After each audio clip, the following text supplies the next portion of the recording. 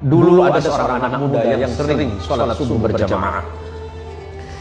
Anak muda ini setiap subuh berangkat ke masjid. berangkat ke musola Al-Qamar. Setiap subuh. Sebelum berangkat subuh dia mandi dulu di rumahnya. Memakai pakaian yang baru, memakai harum-haruman. Tiba-tiba di tikungan jalan dia jatuh. Jatuh di tikungan Apakah dia tidak melanjutkan perjalanan? Dia pulang ke rumahnya.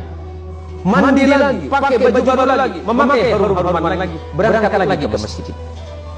Untuk kedua kalinya anak muda ini terjatuh di tempat yang sama. Apakah anak muda ini kesasar tidak? Anak muda ini balik lagi ke rumahnya. Dia berganti pakaian baru, mandi, berpakaian baru dan pakai harum-haruman lagi. Dan ketiga ketiga kalinya dia berada di tikungan jalan di tempat dia jatuh semula dari pertama dan kedua kali tiba-tiba ada orang tua yang sedang memegang lampu. Orang tua ini bertanya kepada anak muda ini, wahai anak muda, kamu mau ke mana?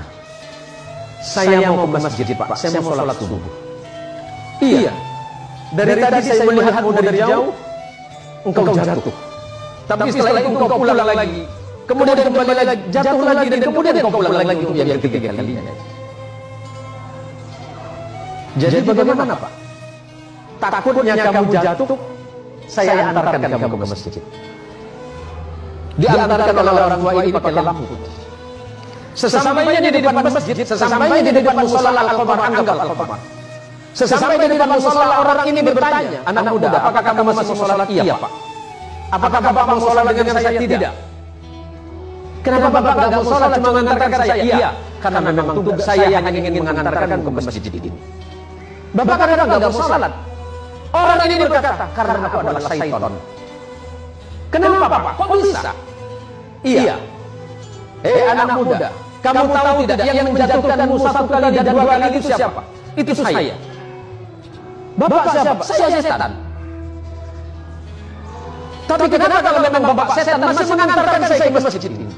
Apa jawaban setan? Anak muda, ketika engkau tadi berangkat dari rumahmu dan aku jatuhkan, Aku jatuhkan di tikungan itu dengan harapan agar kau tidak datang ke masjid, agar kau tidak sholat berjamaah. Tapi ketika kau pulang ke rumahmu, pada saat itu Allah mengampuni dosa kedua orang tuamu. Orang tuamu yang sedang berada di dalam kubur, Allah ampunkan dosanya karena sebab engkau yang datang ke masjid. Yang kedua kali, ketika aku jatuhkan dengan harapan agar kau tidak ke masjid, pada saat itu engkau kembali lagi dan pada saat kembali itulah Allah mengampuni tetanggamu yang sedang tertidur pulas dalam keadaan tidak sholat. Tapi kenapa bapak seton? Anggap bapak seton. Ada nama mirip pak? Ya, ya kenapa bapak mengantarkan saya ke masjid? Kalau seandainya aku menjatuhkanmu ketiga kalinya dan tidak mengantarkanmu ke masjid, maka niscaya orang satu kampung itu diampuni dosanya oleh Allah karena sebab perbuatanmu. Masya Allah,